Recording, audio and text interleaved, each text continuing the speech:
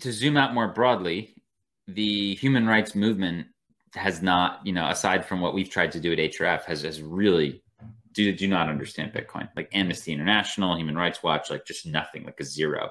I think there's a couple reasons.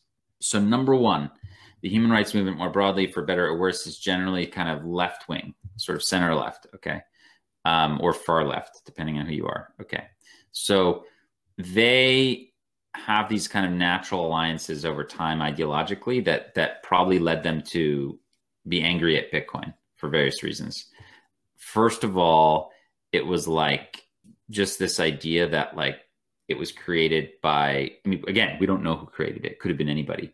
But I think there's this perception that it's like this Silicon Valley like rich white guy thing and and they really don't like that. That's number 1.